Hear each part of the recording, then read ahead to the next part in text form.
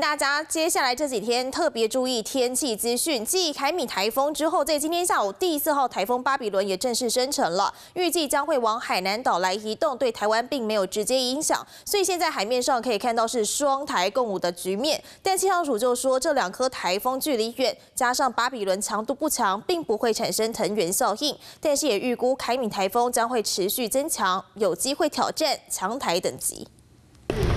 合力将橡皮艇抬到地面，一一确认船艇、救生圈、抛绳枪等装备。北市消防局趁着周末假日做好防台例行准备，因为第三号台风凯米有机会挑战强台。北上的过程当中呢，都是一个有利于它增强发展的情形，不排除它的强度呢是可以来到中度台风的上限，甚至呢，呃，也不排除再更强一些些，来到强烈台风的等级。根据凯米台风最新路径预测，周二开始影响台湾，周三、周四将会是最靠。进台湾的时候，由于移动速度变慢，气象署预估发布海警时间有可能延后到周二凌晨至上午期间，陆警则是最快周三发布。同时，位在南海的 TD 零四二十一号下午两点也正式生成为第四号台风巴比伦，将持续往西北移动，预估对台湾没有影响。但双台共舞有没有可能引发藤原效应？气象署认为距离太远，气象专家意见也一致。中间啊有吕宋岛的高山阻隔。再加上呢，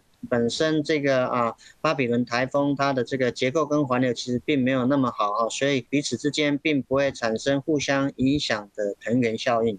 前气象局长郑明典也提醒，凯米台风左侧的细小云系是海面上西南季风增强的征兆，可能会和凯米台风环流结合，要特别注意台风尾影响。在低压带的边缘会带来一些西南风，而这样子的西南风呢，预计呢，我们在周五、周六左右都还是会持续。所以说，呃，在整个北上之后呢，可能在周六中南部的这一带的降雨呢，啊，会持续的一段时间。这几天又碰上年度大潮，沿海地区包括屏东到台南，以及基隆北海岸到宜兰，都会面临最高满潮，需要慎防淹水。尽管预报仍有变化，但凯米台风势必会对台湾天气带来影响，民众仍不可大意。华视新闻彭冠霖。台北报道，Hello，我是雷亚。想要抢了先掌握最及时的新闻资讯吗？赶快订阅、按赞、开启小铃铛，锁定华视新闻 YouTube 频道。